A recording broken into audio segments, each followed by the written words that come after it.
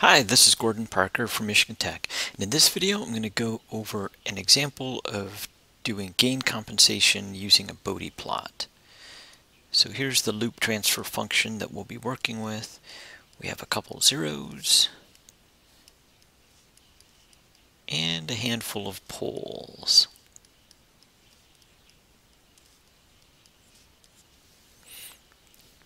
Now here's our design goals. We want to have the steady state error be less than 0.1 when the reference input is a unit ramp, 1 over s squared. And we'd like the phase margin to be greater than or equal to 60 degrees. Now let's just review where all this fits into a closed loop system. Here's our gain that we get to fiddle with is really the design process, is picking that value of k. Then we have our loop transfer function and unity feedback. We have a reference input and an output, y. Now let's go ahead and play around with this requirement, the steady state error requirement, see what we can do with it in terms of relating it to this value of k. So let's see, for r equal 1 over s squared, it says that the steady state error is equal to 1 over kv, where kv is the velocity error constant, and it is equal to the limit as s goes to 0 of s k gl, everything in that forward path. And so that's equal to k over 5. And so the steady state error is equal to 5 over k. And if that's going to be less than or equal to 0.1, then it says that k has to be greater than or equal to 50. Now since we're going to be working with Bode plots, I might as well convert this into decibels. So I'll use k subscript dB for the value of this k in decibels. So that would be 20 log 10, 50, and that's about 34 dB. Great. So now let's just go ahead and make a Bode plot using this loop transfer function and investigate some designs. So here I've coded the transfer function into MATLAB, and there we go. And now let's go ahead and make a Bode plot of it, and I'll have a grid superimposed on it also. Before we do any design, let's just look at this Bode plot and think about what's going to happen. As we increase k, this magnitude plot is going to shift up. If we decrease k, the magnitude plot shifts down. What that does is it changes this point. That's the gain crossover frequency. And that tells us what our phase margin is. For instance, right now this Bode plot is constructed for k equal 1. And it has a gain crossover frequency of roughly 0.2 radians per second. If I come down here, it tells me that my phase margin is roughly 70 degrees. Furthermore, no matter how I change this magnitude plot, no matter where this gain crossover frequency ends up, whether it be here or back here, my phase margin, the amount that this phase plot is above negative 180 degrees, will always be positive. This means that I can set the gain to anything and the closed loop system will always be stable. That's good to know. The design process is the act of shifting this magnitude plot up and down so that the gain crossover frequency gets to a point that satisfies our phase margin requirements of 60 degrees.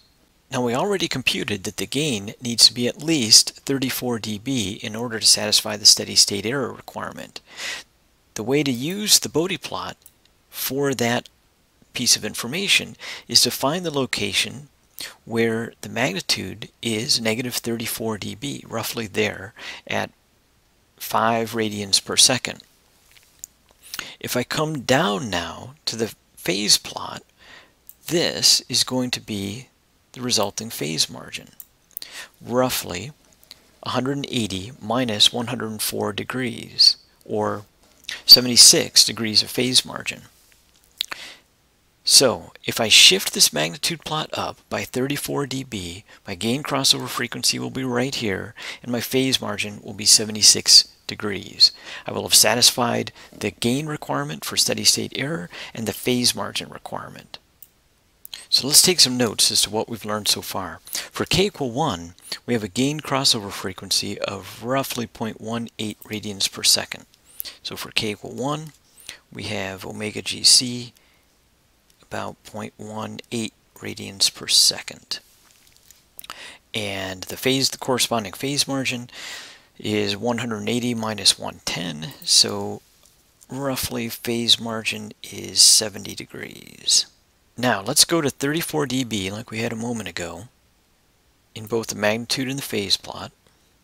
And so now we have K equal 50 or KDB equal 34 dB and we have a gain crossover frequency of about 5 radians per second and the phase margin is roughly 75 degrees. Now it's also interesting to note that if I close the loop with a K of 50, my closed loop bandwidth should be about 1.5 times that gain crossover frequency, or about 7.5 radians per second.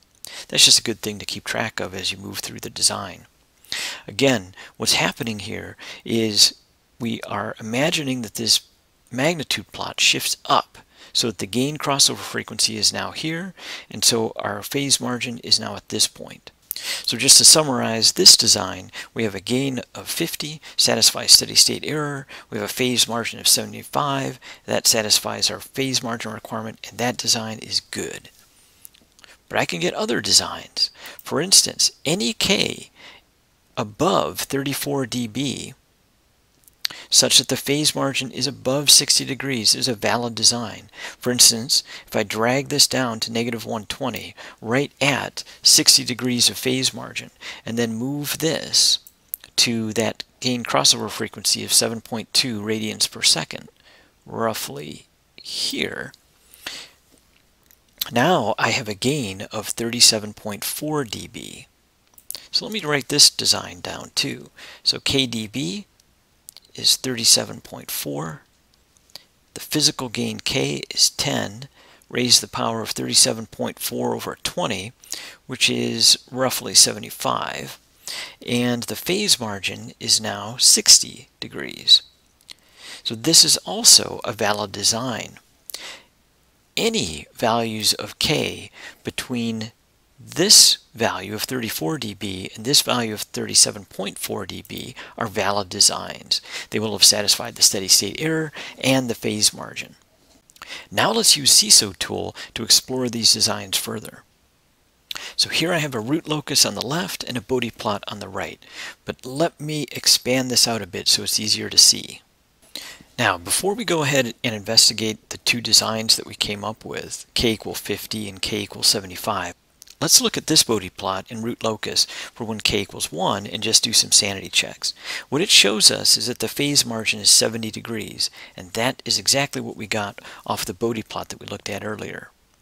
Also, the gain crossover frequency is 0.185 radians per second, and again, that's what we obtained earlier. If we look over here at the root locus, we can see our closed loop pole locations. We have two poles here and two poles here. These two poles have a fairly low natural frequency. That's the distance of this red square to the origin. Whereas these poles have a much larger natural frequency. Again, this distance from the square close to the pole to the origin. Now let's go ahead and look at that first design for k equal 50. Now I could grab this magnitude plot shift it up and try to find that point, or so that's what I'm doing now. Or I can just go to this window and plug in the gain of 50. It shows it as C, but that's actually our K. So it adjusted the Bode plot, shifted the magnitude plot up, and let's just do a double check. Our phase margin is 75 degrees, and that's roughly what we had over here in the scratch pad and the gain crossover frequency is 5.2 radians per second, and that's pretty close to what we had here. Now one thing that we also did is we estimated our closed loop bandwidth of 7.5 radians per second. In sisotool we can look at that real easily. If I go over to analysis and select closed loop Bode, there we go. Now I can select a point on here, go to the negative 3 dB point, and that will be our bandwidth. and it shows it as 8 radians per second, which is fairly close to 7.5 that we estimated from before.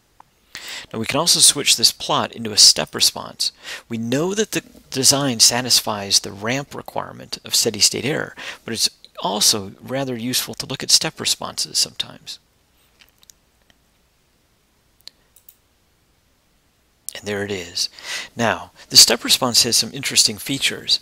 It has a high frequency component right here. That's due to these closed loop poles over here, the high frequency ones. And it has a low frequency response, and that's due to these low frequency poles.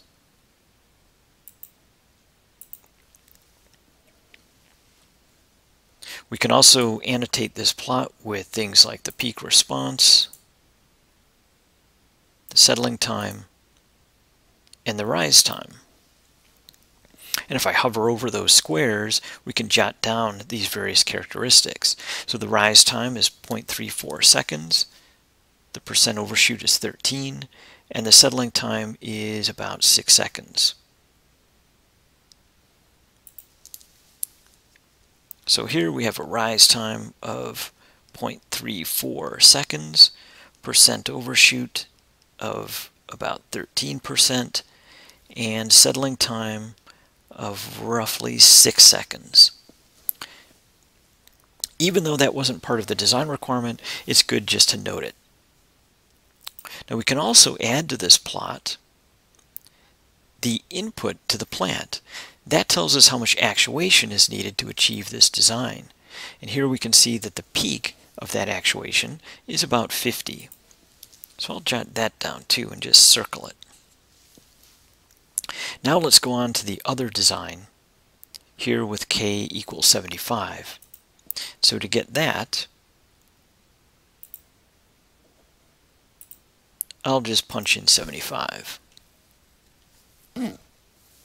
And it updated the Bode plots and the step responses. Now we can see that the amount of actuation I need is 75, so I'll circle that here. For comparison, I'll get rid of the green line so that I can see this better. And now look what's happened. The high frequency component has been exaggerated due to the higher gain. The time domain performance characteristics have changed. So the rise time is now 0.2 seconds, percent overshoot is about 9, and the settling time is about 5.4 seconds. So rise time is now 0.2, percent MP is about 9, and the settling time is about 5.4 seconds. So let's just summarize what we have with these two different designs. For the higher gain, we need more actuation compared to the lower gain case. However, the step response performance got a little bit better, even though the step response performance wasn't part of the design objective. Two designs that satisfied the requirements, that it's often important to look at other characteristics of the response to determine which one to pick. Let's just do one last thing. What I'm going to do is grab hold of this magnitude plot and shift it up so that we get lower and lower phase margin. And look what's happening over on the left to the step response. I'm getting more and more oscillation. I'm exciting those high frequency dynamics more and more. And I can certainly go the other way. If I shift this magnitude plot down, now the high frequency behavior of the system is essentially not excited at all and is dominated by the low frequency dynamics. So just to summarize, we started out with a loop transfer function, used the Bode command to explore two different valid designs, and then explored those designs further using sisotool. The main point to remember for gain compensation in a Bode plot is that it is the act of moving the magnitude plot up and down, which is really all about shifting the gain crossover frequency left and right and changing the phase margin. So again, this is Gordon Parker from Michigan Tech, and thanks for watching.